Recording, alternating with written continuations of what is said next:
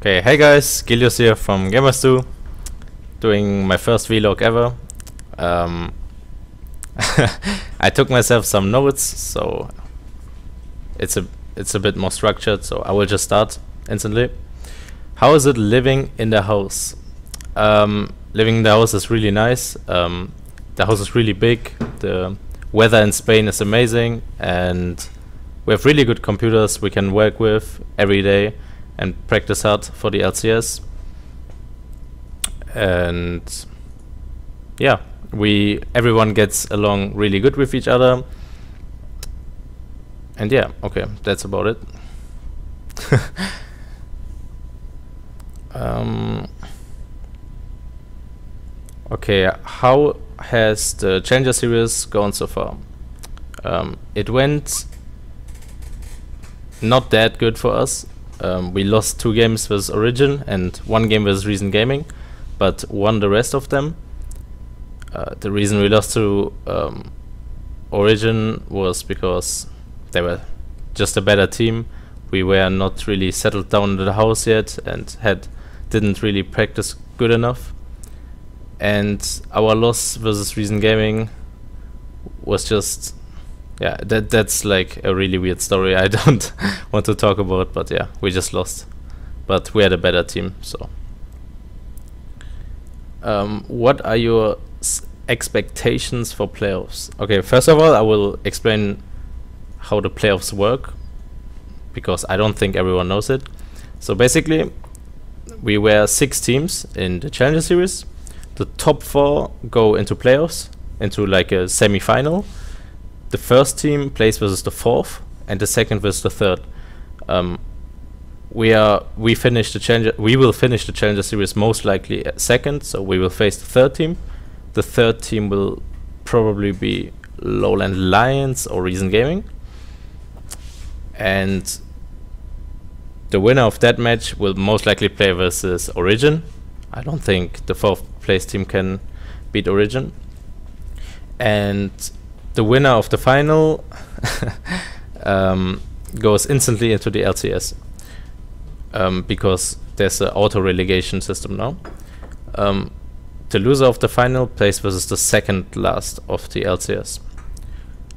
The, so if you lose that match, you will play versus MYM or Giants, probably.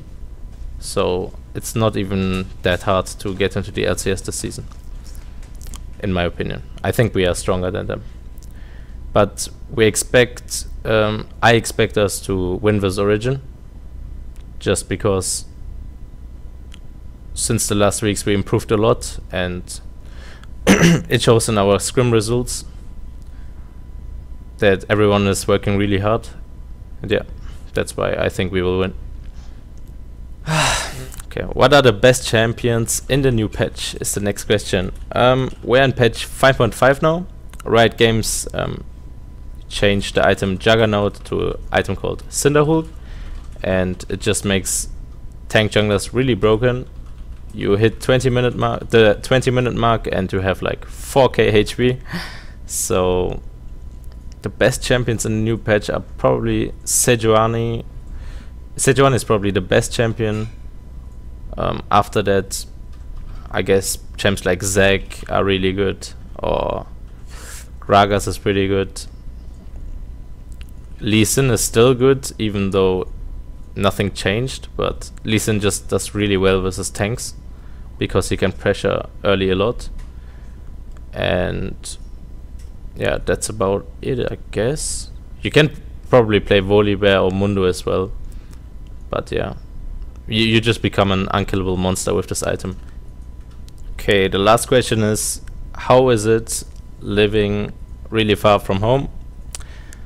Um, it was a bit weird in the first week because I needed to make food for myself and if you wake up in Madrid it's a bit weird but I got used to it really fast. I'm not that kind of person that is like super sad because he can't see his family.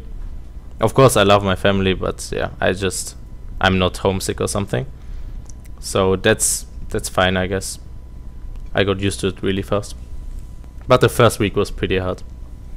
because yeah, I needed sometimes to cook for myself, and there was a struggle, I guess, because I'm not really skilled in doing this. So yeah. Thanks for watching this vlog, guys. Um, thanks for all the support you guys give to Gamers 2, and yeah, see you next time. Bye.